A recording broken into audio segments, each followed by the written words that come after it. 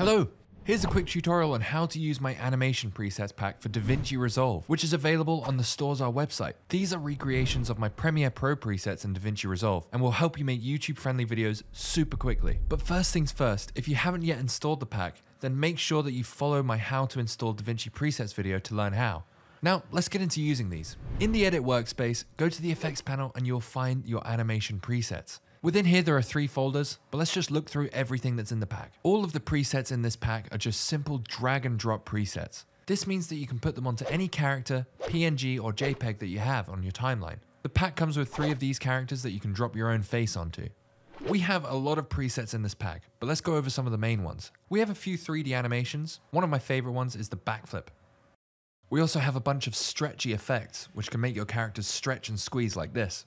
Then of course we have my most used animations, which is the smooth slides. This can introduce objects, characters, whatever you want, in really cool smooth ways. I've made these to come in from all angles, which will give incredible flexibility when making your videos. We also have a whole bunch of shakes, which is really useful when you just want to introduce something in a dramatic way or give something impact. Here's an idea of what you can achieve with these. And if you like the look of these presets, then make sure that you go and check out www.storezar.com, sign up to our mailing list, and stay up to date with our most recent presets and courses. And also subscribe and make sure to check out our other tutorials on our other presets. Alright, see you later.